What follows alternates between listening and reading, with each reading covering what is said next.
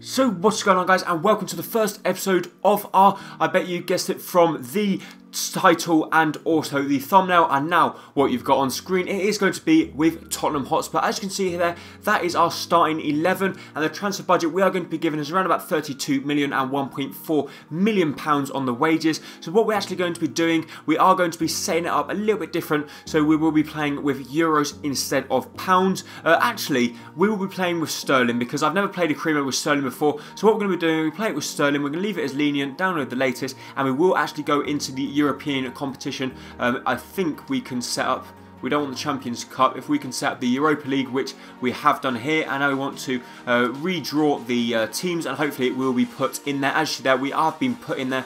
We are along with, so it's obviously Spurs, Braga, Standard and Trabzon. So hopefully we can go ahead and win that group. Uh, actually, what I might do is set it up as our real group. So unfortunately we can't actually choose our proper group, but what have actually done is I've changed um, standard for Anderlecht to make it as realistic as we possibly can. So we want to save all of the changes as you can see there and pretty much that is going to be what we are going to be doing in the first season. We're going to be playing on world class just for the time being and we will probably go ahead and uh, up that to legendary pretty soon depending on how well we start the league season. So as you see there we have in fact gone with the name of Harry Redknapp. We are going to be going the England uh, nationality outfit style will be a shirt and tie and uh, obviously we will be uh, we actually will be cut ourselves pretty stocky because without offence to Harry and that wasn't the slimmest of guys at the club.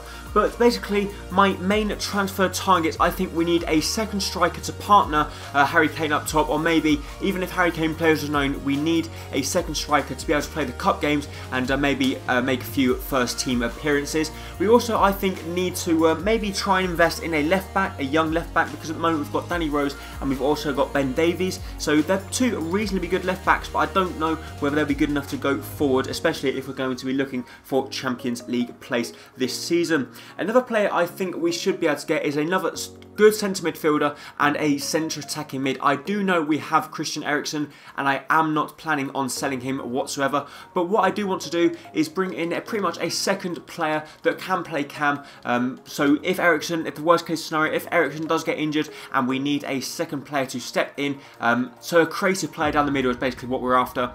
I was actually thinking of Halilovic because Halilovic does look really, really good. I have been looking at a different, um, I've been watching a few different crew modes on YouTube and a lot of people have said how good actual um, he is. So I will be looking at getting him. So actually here, the these are the three tournaments we can choose.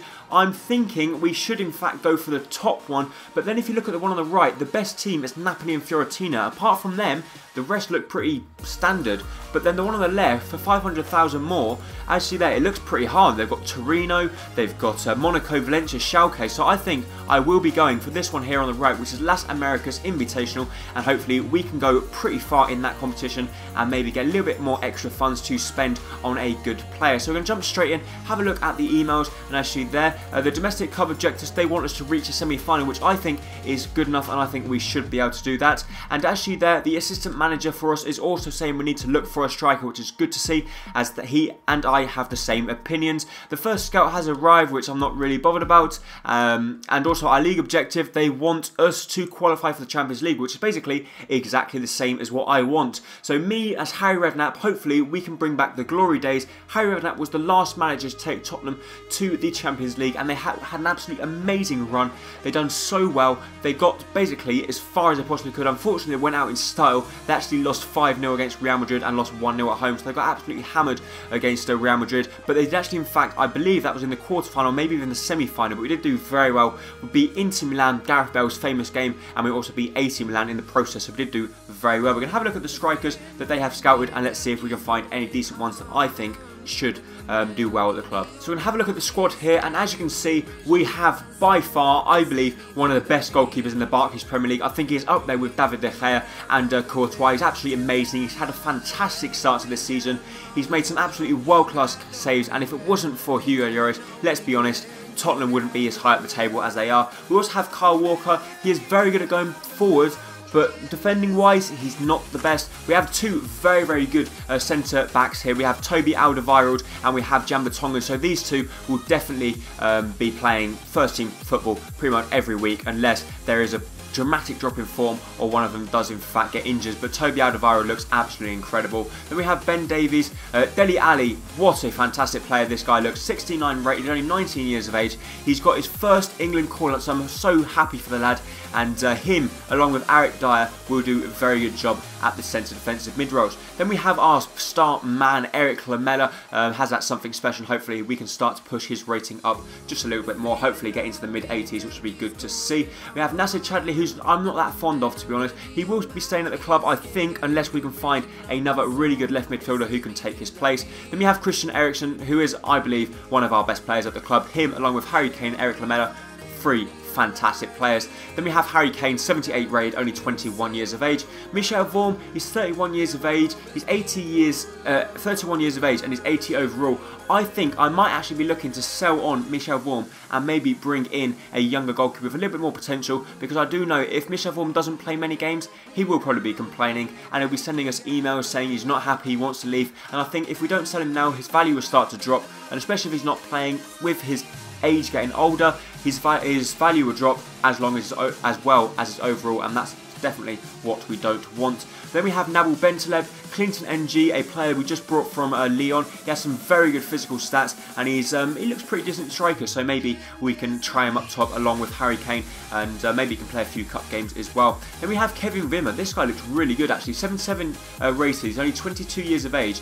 We recently brought him from Kong for 8 million pounds and he looks pretty decent, so maybe he could be um, challenging for that uh, starting place. Then we have Tom Carroll, um, we brought him from uh, Bayer Leverkusen, and he is known as Sonaldo. He does look very good, and I think it would be him or Chadli who will be starting in that left mid role. I believe it might be him because he might have a little bit more potential than Chadli, but Chadli also is a pretty good player, don't get me wrong, but I just don't seem to get on with him well in FIFA. I don't really like his attitude in real life either. Then we have Andros Townsend, uh, Ryan Mason, uh, Kieran Trippier, uh, Federico Fazio, not that fond of him, he's a little bit too slow in my opinion. Then we have Danny Rose, Moussa Dembele, uh, Joe Pitcher, then we have a loads of little youngsters here who will be sending out quite a few out on loan. Harry Winks looks pretty decent as well. Uh, Onomah, he looks very good, showing great potential, got good physical stats, he's a good cam, so maybe we can loan him out and hopefully his rating can start to improve as long as Alex Pritchard looks pretty decent as well.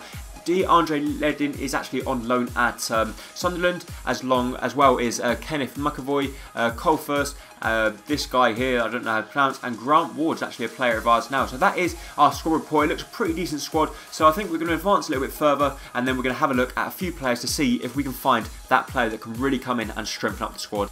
So they actually want us to win the Europa League. So that is actually going to be a very difficult objective for us. But will we win the um, Europa League? Let me know in the comments down below whether you think we will be able to go through the whole season and win the Europa League, which I think will be a very difficult objective.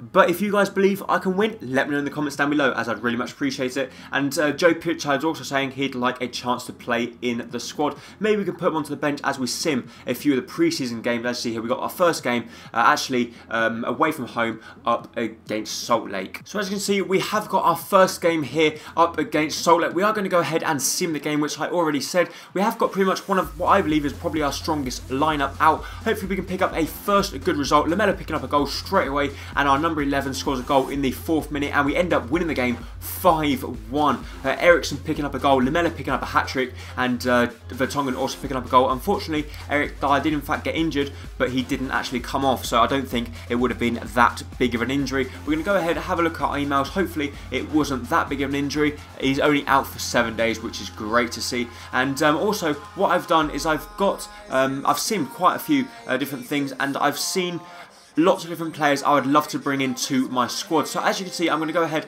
and show you my um, shortlist. And from my shortlist, I think we have got some fantastic players in there. So we've got Jack Butland in there. Maybe he can replace Michel Vorm on the substitute bench, but I don't know whether he will actually come because he's such a good goalkeeper and he's not going to be playing, especially with Hugo Lloris in the squad. Then we have Daniel uh, Rugani, Victor Wanyama and Ruben Neves. Uh, Basil was also in there. Dani Ceballos looks really good from Real Betis. Maximilian Meyer and Oliver Torres, these two guys look absolutely incredible. So maybe we can bring in one of only one of them too, because obviously they will cost us quite a bit of money. Ross Barkley also, Nabil Fekir to uh, maybe go up top as well, along with uh, Embolo and uh, Angel Correa and Felipe Anderson. So they are the few players that we have scouted, and what we're going to do is going to pretty much put a few, put a few offers in for them, and let's see if any of them will accept. So start off we will go in for Daniel Rugani. What I am planning on doing is pretty much offering uh, Federico Fazio plus a little bit of money for uh, this guy if we can bring him in. What a fantastic signing it could be, especially I think he'll be a lot better than what Federico Fazio is, but I don't think the game will actually let us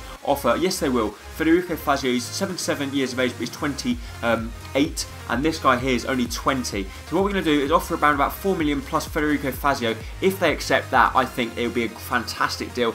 But whether they do or not, I'm not very um, convinced, especially if he's coming from Juventus.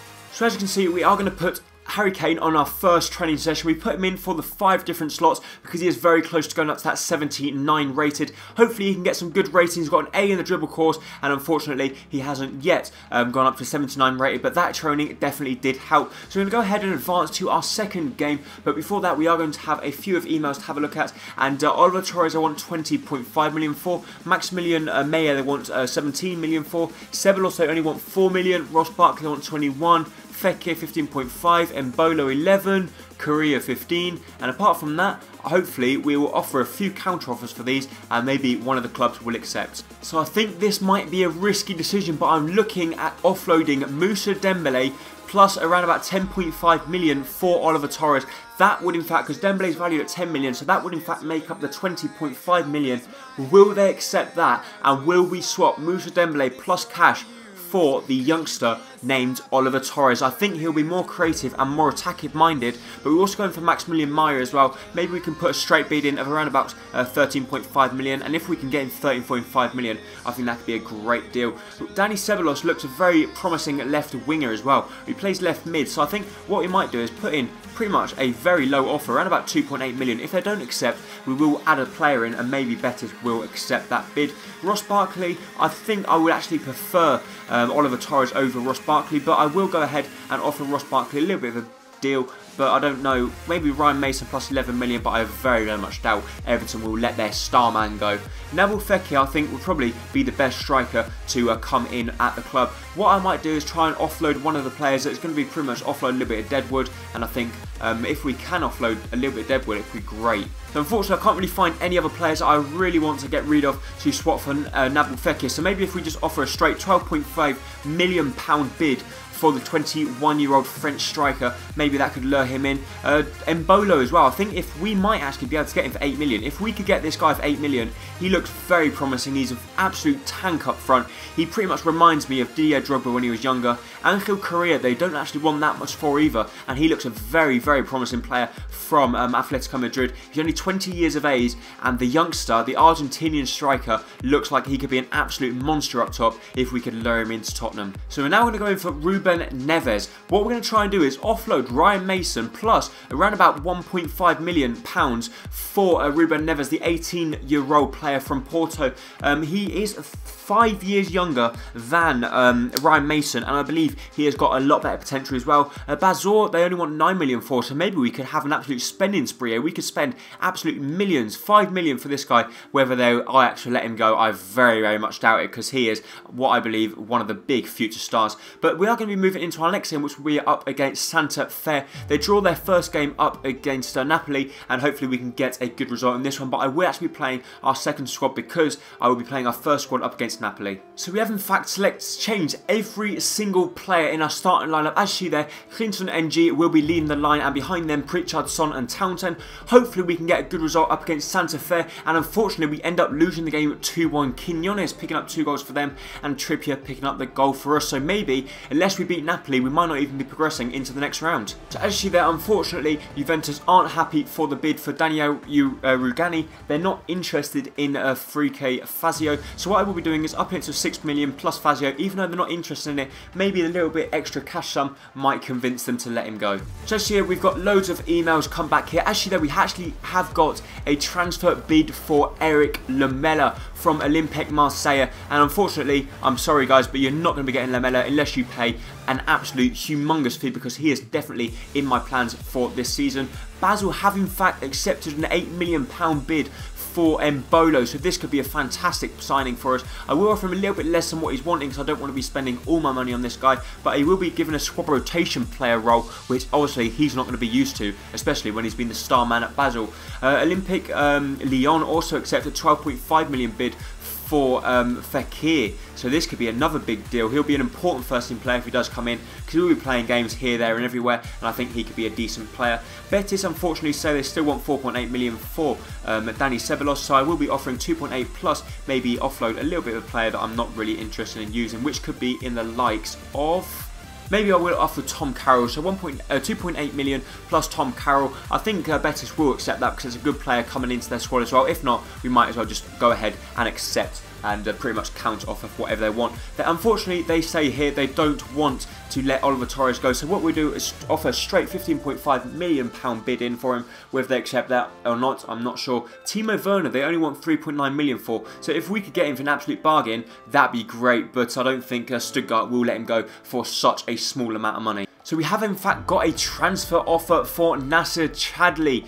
I'm not convinced that this guy is the best for the club. Actually, here our chief executive is saying if we counter for around about 11.1 to 12.9, they might accept. But if they go ahead and accept a 14 million bid for uh, Nacer Chadli, I will happily let him go and we'll have to look for another left winger. Ajax unfortunately say they don't want Bazoer to leave unless we offer 9 million. Atletico Madrid say they want 15 million for Angel Correa. Everton say they're just not interested in Ross Barkley, so Ross Barkley will become out of the equation. Maximilian Meyer, they have in fact accepted a 13.5 million bid for him, so we will go ahead and offer him a contract, but whether we will actually accept him into the club is another thing. I'm not sure whether he could be um, a player that will uh, get first team football every week. I would, in fact, I think, prefer um, Oliver Torres. So now we're going to go ahead and offer Ryan Mason plus £5 million for Riechedly Bazoer from Ajax, the 18-year-old. I think he could be a really good player that can come in in the important games, especially in the cup games, and he can really drive the team forward because he's really good defensive as well. Unfortunately, Juventus once again saying they will not accept the bid for Rugani. So we have going to go ahead and offer straight £10 million bid for Rugani and we will go ahead and put Fazio up for sale. Maybe a club will come in for him, I hope so. So we are going to in fact move into what I believe is going to be our final game of this cup unless we can win it. As you there, Santa Fe are currently sitting in first place. They got four points. We're currently sitting in second. We got three points, and Napoli is sitting in third. So if Napoli beat us, we are out. Whatever happens, so we've got to beat Napoli if we want to progress into the next round of the cup and hopefully get a little bit more fun. So actually, they drew both games. They drew against Salt Lake and they drew against Santa Fe. Hopefully, they will lose this game up against Spurs, and we end up winning the game 4-1. A fantastic result from us. There. Uh, uh, Alli picking up the goal, uh, Eriksen picking up one, and Harry Kane picking up two. So fantastic result for us there, and we have progressed into the next round. So hopefully they will give us a little bit more funds. So Nabil Fekir is in fact saying he does uh, want to come to the club, but he wants us to offer him um, 70,000, which I will go ahead and do, and I will offer him a um, squad rotation player, which I've offered him more wages this time, but given us a, lesser squad role. Uh, Betis, Betis um, have also accepted a 2.8 million bid uh, plus uh, Tom Carroll for Dani Ceballos, the left midfielder who can also play centre attack in mid. He actually wants 20,000, so we'll offer it to 13, uh, 17,000, sorry, and uh, maybe that will convince the uh, youngster to come to Spurs. So he's having his wages more than doubled. Atletico Madrid also say yes for Oliver Torres, 15.5 million for the guy. He wants 70,000 which I will happily give, and a four-year deal, and he will be an important first-team player if he does come in. I think he could really strengthen up the squad hugely. And actually there we also get given an extra 1.5 million for qualifying for the next round of the Cup, which is great to see. We're going to go in for some more training here, and we're going to pretty much put Harry Kane in once again, and hopefully Harry Kane will be able to go up to that 79 rating, which I'm really hoping he will be able to. So unfortunately, he has not gone up to an 80, uh, 79 rating yet. He didn't do that bad, to be honest, but um, his stats aren't improving hugely, but we are in the semi-final now up against Deportivo Cali, and uh, we are going to sim this one with our best squad. Hopefully we can get a good result, and uh, obviously the main objective is to win. So actually, the Aston Villa have in fact come back to us and said they will only give us 12 million for Nacer Chadli. So if they're only going to give us 12 million, I will up it to 14 million because I don't want to let him go for a little bit money because otherwise we're not going to have that perfect replacement for him. As you hear there, Ajax unfortunately saying once again they're not accepting the bid for Bazoer. Atletico Madrid have accepted the 13 million bid for uh, Angel Correa, but I think Nabil Fekir will probably be the preferred choice over uh, Correa. But I will uh, check out both players. I've scouted both of them, and their scout reports will be coming back very soon. Embolo also saying he wants 40,000, so he wants quite a bit of an increase, which I will in fact go ahead and give him, and a four-year deal, and he will be an, squad rotation player if he does come in. He's 18 years of age, and he's only 76 rated. Maximilian Meyer saying that he wants a bigger squad role at the club, and uh, also in talks with Everton is Nabil Fekir, so we want to be bringing him in as soon as we possibly can. We have in fact sent him a uh, offer, whether he's accepted it or not, I'm not sure. Fantastic news here as Juventus have accepted a £10 million bid for Rugani. We're going to offer him a contract because I believe this, even if he's not going to be a first team player straight away, as soon as he comes in, he will really strengthen up the squad in the long run, especially when his rating starts to improve. Also in talks with West Brom is uh, Victor Wanyama, but I don't think we will be going him in for him in the end, especially when we've got the likes of Bazoer, etc. But we are going to be simming the next game, which is going to be at home up against Cali, which I don't actually think it's going to be at home, to be honest. I think it is just a random stadium. And uh, we actually win the game at 2-0. Eriksen and Kane picking up both the goals. Unfortunately, Kane did actually pick up an injury. Hopefully, it's not going to be too big of an injury. Uh, the press conference, uh, final scout report, Everton offer accepted. So Everton have they've accepted a bid for 13 million for Nabil Fekir. So we're really hoping Fekir can come to us and say he's accepted his contract. But unfortunately, we have still got no email. And we've got some bad news here as Harry Kane has been has suffered a torn hip flexor and will be out for six weeks. So we really need now for Nabil Fekir to come into the club. And fantastic news as well that Aston Villa have in fact accepted um, the 14 million counter offer we sent to them for Nacer Chadli. So Nacer Chadli will be uh, on his way out of the club. So now we're going to have to look for a left winger. Also, Porto is saying they're not accepting the Ruben Neves bid. Angel Correa says that he wants a bigger squad role and Nabil Fekir wants a bigger squad role. So we're going to have to offer them bigger contracts because otherwise Nabil Fekir, we're not even going to get him. So unfortunately for us, as you can see there, we've just been informed that Nabil Fekir has decided to join Everton instead of coming to us. So that's some bad news there, but hopefully we can bring in the other striker in the likes of um, either Embolo or Angel Correa, or maybe even both of them. But I see there, Victor Wanyama, blah, blah, blah. Uh, Embolo is accepted, as has Oliver Torres. So Oliver Torres we will accept as the first player to come into our squad. 15.5 million for the Atletico Madrid man.